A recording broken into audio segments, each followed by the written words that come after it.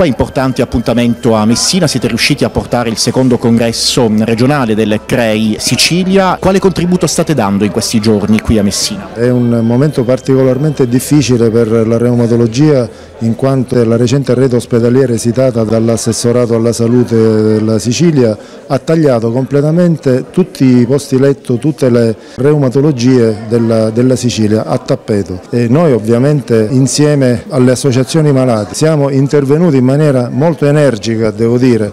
E forse è stata la prima volta nella storia della reumatologia che abbiamo dimostrato una coesione così importante che spero possa dare i suoi frutti perché noi siamo molto fiduciosi in una revisione della, eh, del piano. Avete presentato eh, le 5-6 pratiche di inappropriatezza per la terapia del dolore cronico in reumatologia. Di cosa si tratta esattamente? Dunque Slow Medicine è un'associazione mondiale che ha anche una filiale italiana eh, di cui uno dei responsabili è il professore Nico Cia della nostra azienda Papardo che eh, un anno fa, proprio al primo congresso regionale CREI, mi chiese di eh, formulare cinque raccomandazioni a rischio di inappropriatezza in reumatologia. Noi le abbiamo fatte e hanno avuto un grande successo, tanto che mi hanno chiesto di farne altre cinque eh, sul dolore cronico.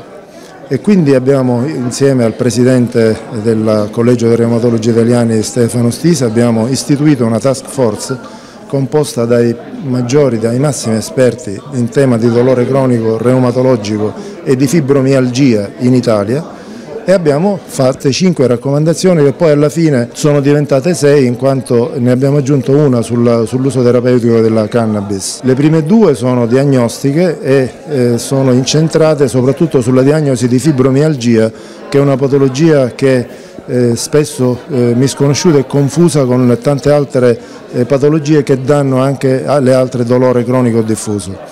Eh, la terza e la quarta sono due eh, raccomandazioni sulla terapia del dolore cronico, la quinta è una raccomandazione sulla terapia fisica, squisitamente fisica della eh, fibromialgia e del dolore cronico diffuso, la sesta è una raccomandazione sull'uso terapeutico della cannabis. Presenterete tutto a Roma nell'ambito del congresso nazionale e sarà lei a presentare queste sei raccomandazioni. Sì, infatti oggi noi qui abbiamo presentato la proposta delle raccomandazioni che poi io a Roma presenterò al congresso nazionale, dopodiché verrà sottoposta a Slow Medicine come già è stato fatto per le precedenti raccomandazioni e eh, verranno pubblicate su Slow Medicine e poi molto verosimilmente ne verrà fatto un editoriale sul giornale italiano di reumatologia clinica come già è avvenuto per le precedenti raccomandazioni.